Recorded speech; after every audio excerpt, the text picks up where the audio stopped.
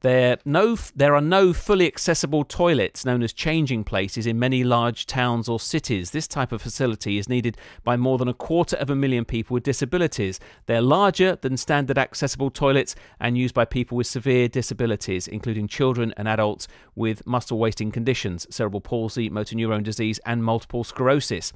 The Changing Places Consortium is leading a campaign to increase their number. It wants legislation to make the toilets mandatory for new large public buildings and for every town to have a facility. Uh, joining me on the line, first of all, on this, Claire Lucas from Muscular Dystrophy UK, who's the co chair of the Changing Places Consortium. Hello, Claire. Good morning. Okay, so why do so few towns and big public spaces have changing places toilets? Um, people install changing places toilets because they are needed by over a quarter of a million people in the UK. These facilities are vital so that people are able to go out with their families, enjoy days out with friends, and also just get around, you know, be able to make a train journey and know that there's a toilet that meets their needs. But there are very few of them, so why is that? The reason there are so few is that legislation, for one thing, as you mentioned, it's not strong enough at the moment. It's only a recommendation that large public buildings provide these facilities. Another key issue is a lack of awareness. People feel that accessible toilets are appropriate, but actually they fail to meet the needs of so many people and put people in awful situations where they're faced with being changed on toilet floors, the backs of cars, or even facing giving surgery to try and make sure that they don't need to plan around toilets. Really, that's that's quite an extreme solution to, to this problem, which should be sortable, shouldn't it? Um, what sort of equipment yeah. is, is in a changing place toilet? Describe what it's like.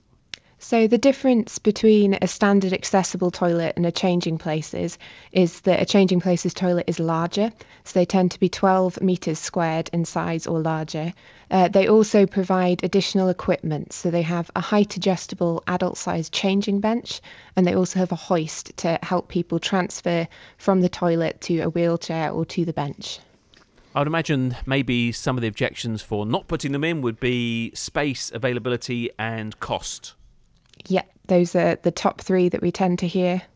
Okay, um, so how, how do you get past that? How do you persuade people that actually it's money worth spending for comparatively few people, but of course for them it's seriously important? I think a key thing is personal stories. So I think when people are confronted with the actual realities that people are having to face without these toilets available, they find it very hard to argue against installing them. But I think a crucial thing is that we get this legislation changed so that there's actually the mandatory backing behind campaigners so that they can show that these toilets are recognised as a vital resource. Claire, thank you. Claire Lucas from Muscular Dystrophy UK, co chair of the Changing Places Consortium. With me in the studio, Samantha Buck from Horsham, and your son Alfie needs this kind of facility, doesn't he? He absolutely does, yes. Um, he's 12 now. He's um, five feet tall, just a little bit shorter than me. Um, he has quadriplegic cerebral palsy and um, his uh, movements are very strong and can be dangerous when you manually handle him.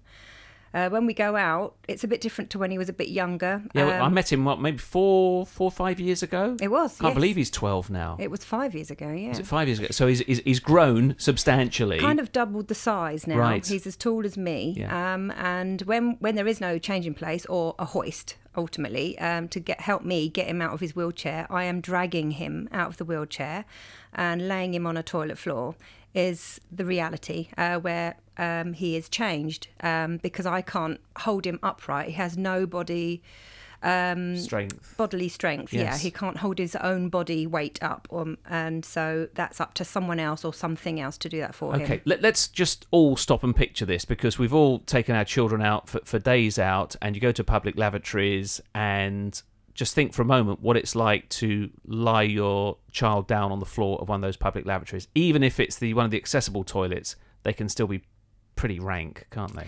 They can, especially depending on the time of year and who's been in there before you. You know, if it's the winter, it will be covered in mud, obviously, and you get um, splash mm. from the previous uh, people um, uh, because uh, disabled toilets are generally for everybody. It's not just women's or men's. Yeah. It's it's for everybody, which is is good. It's a good thing. Um, but when you it, it's- he takes up the entire length of the disa- a standard disabled toilet. Um, so his wheelchair is outside. Um, so I have to, I can't do anything by myself. I can't be a single carer out with him. I have to have someone out to help me to pass uh, uh, pads, uh, you know, nappies, and wipes through the door, an open door for other people to see what's going on inside the loo. That's not very dignified No, for it's him, is not, it? yeah. That's terrible. Um, so, how much does this restrict your ability to take Alfie and the rest of your family for days out or shopping trips or whatever it is? Uh, it's it's military operation or we don't go. Um, it's it's it's got. We're getting to that stage, and as the previous lady Claire said about when you get older, some people actually opt for surgery so that you don't need to use a public toilet when you're out. So, if you're I mean, catheterized or something yeah. like that, I mean- where you don't need to be. Yes, um, and for someone with complex physical disabilities like my son, that's not an option because everything gets infected. And when you're laid down on a public toilet floor where there are literally Excuse me, wincing. I'm sorry. Oh, it's it's just Yeah. awful. There are millions of germs, and there literally are millions of germs on the floor. And he's already uh, high risk of being in hospital throughout the year with general chest infections and everything else. And this would get inside um, a an open Yeah. wound or, or or or whatever if you've decided to opt the surgery route. That's not on my agenda No. but um, it will stop us from going out. And and not just alfie the entire family. Because we travel in num- numbers he's he's um, without independent mobility. So every everywhere we go he has to take a team with him. Yeah. whether that's mum and dad or mum and carers or the family his brother and sister Mm-hmm. uh, to help for the entire day. So we travel in numbers.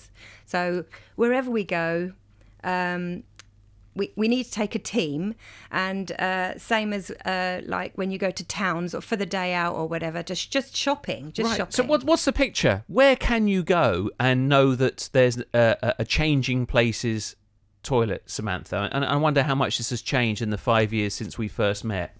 Yes, uh, in the in the last five years, there has been small changes, and they're brilliant. Like big days out, um, like going to uh, some theme parks. They've put changing place toilets in, but of course, with that, uh, Alfie can't get out of his wheelchair because he can't hold himself up, so he's not actually allowed on any of the rides. So he doesn't he gets to go to the theme park, but he doesn't get to have a lot of the, the fun that everybody else has. Yeah, he gets to watch them have all the fun, but we get to use a changing place toilets. That's the small bonus, but literally, That- he that's not much all of the one, fun. is it, really? No, it's not. Yeah. Um, and also, um, the good thing is, is leisure centres, especially because they're generally council run. Uh, they and they're big. Are they being retrofitted to Yes. leisure centres, or if if uh, if there's a new build leisure centre somewhere these days, would they, as standard, put a, a changing places toilet in, or do you have to bang on their doors in the planning phase? That's exactly it. That's what's that's what's happening. It's not as standard, um, which is why we want the law changed. Uh, the uh, building regulations part M. It doesn't state in there that any new build over a certain square should compulsory. It should be compulsory that they have a changing places built into um, the plans. So it's trying to catch them while they're designing these things. Yes. Um, otherwise, it literally is down to the uh, parents or the carers um, campaigning locally and literally banging on the door and saying, "Don't forget us. You need to get this done, or the we we can't come." Where can you go locally from Horsham? Can you go into Horsham? Is there a changing places in Horsham? Well, there isn't in the town, yeah. but uh, they're redeveloping in two parts um, in the town, um, which means that we're going to be having two. Wow. Yes, we're going to. Uh, there's an indoor part of Horsham uh, called Swan Walk Shopping Centre, uh, but that shuts at six. Um, so, and that's fabulous. They're putting one in there. Uh, but obviously, if we go out for walk into town in the summer um, and have a family meal for someone's birthday, which generally we do, there's we can't access the toilet for Alfie's because it's all locked Yes. because it's on the inside. So they're they're putting another one in the outside development that they're doing. So we'll have them in both places. It is. Have you brought pressure to bear there? Is that are you partly responsible for that? Uh, yeah, because it, it started when five years ago when I started my. Um, uh, I, I posted a picture of Alfie laying on a toilet floor, um, which kind of shocked people because they because you don't know. They, you don't know unless you're living that world. Hmm. Uh, you don't you don't know that that's what you have to do. After the age of five, there is nothing for you. You get a disabled key, disabled key. I mean a, a, radar key. Yes. Sorry for disabled toilet access is what I meant to say. Um, and when you're five, um, but you open the door and there's literally a toilet in there in a slightly larger cubicle, Hmm. Yeah. if you like. But there's nothing else to help me. and especially when he's at at 12 and he's five feet Yes. tall and you know he's he's, he's face to face with you Yeah. okay um so so that is good uh just just I I have one question so you do have a radar key for all these changing places toilets so not everybody can use them so they stay cleaner and they're not going to be vandalized Well, uh, there you can actually buy radar keys off the internet, even on Amazon, which is not good. Um, you sh- it should be um, you get them from your council that, um, or if you're Mm. like a blue badge there's an application Yes, process for a blue badge but then they're abused as well be. aren't they Yes, they are. Yes, uh, because they get they get lent to people to use. God, if people have got the time or, or the kind of thought process to, to go into a changing places toilet and, Yeah. and disrupt things, then they really need to have some Yeah. help, don't they?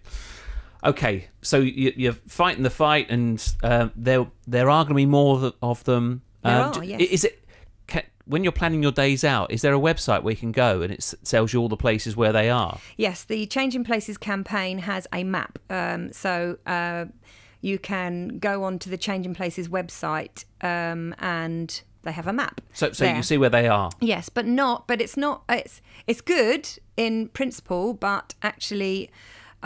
There are many which are not registered. Um, the the people that have put them in have not registered them. Okay. Uh, so for for the user, uh, that's the for the carers of the people that are disabled or the disabled people themselves. It's not it's not really very. It's a little bit of potluck. I mean, there's there's there's the the Brighton Hire bike scheme Yes. knows where every one of its bicycles is at any time of day or night, and they move around. Yes. Yet toilets like these ones don't move around, Yes. but we don't know where they all are. a stationary building and then, then it's not registered. That's exactly Okay. it. So it's very hard, which is why we end up using social media, asking people. It's still word of mouth, which um, you know get, gets the job done.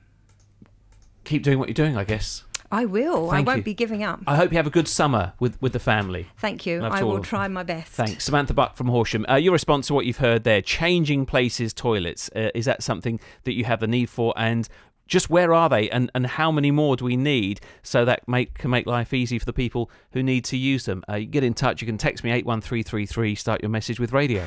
BBC Sussex Drive Time.